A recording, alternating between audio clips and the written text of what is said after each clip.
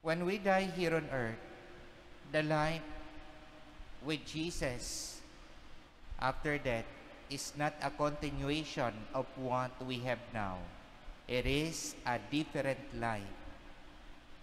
We share in the glorious body of Christ. Kaya nga sinasabi dito,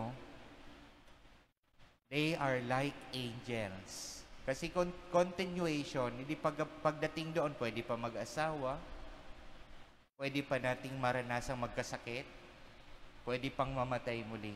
But rather, it is a life that is with God. We share in the body of Christ and we are called glorious in the resurrection of God. Now, the question is, how come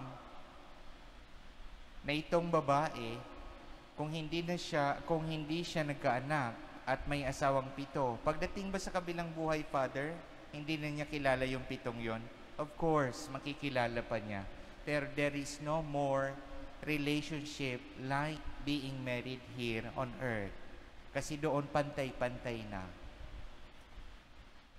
The gospel today brings us hope. First, hope that we will resurrect and we will live with Christ again.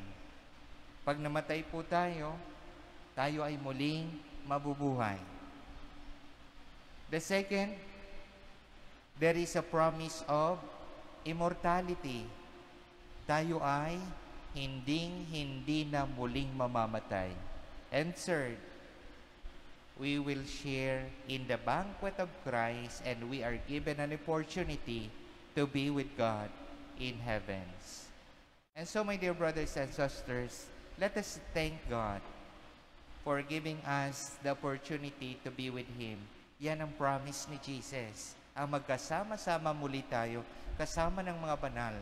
That is why when we profess our faith, the communion of saints, the forgiveness of sins, the resurrection of the body, and life everlasting.